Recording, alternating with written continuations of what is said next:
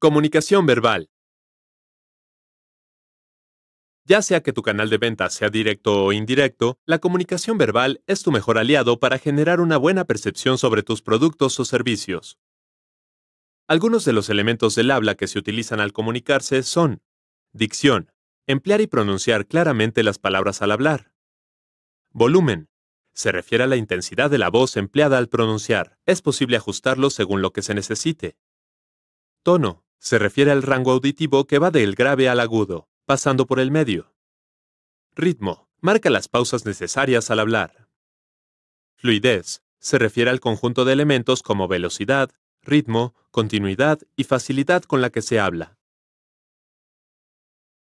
Algunos ejercicios para mejorar tu comunicación son la biolectura. En este, repite palabras que contengan las vocales A, aguacate, atar, ambulancia, asma, alga. O, oso, ojo, ogro, ocho, doctor. U, usuario, ulular, újule, único, uva. Repite palabras que contengan consonantes. B, barba, biodegradable, bisabuelo, bibliografía y bibliotecario. F, alfalfa, fanfarrón, fiador, felpa, foco. M.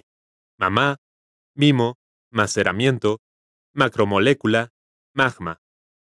P. Apapacho, palpar, papalote, papaya, palapa. Boca. Abre tu boca con forma de pez. Coloca dos dedos de cada mano en las comisuras de los labios. Lleva los dedos lentamente hacia atrás para estirar la boca.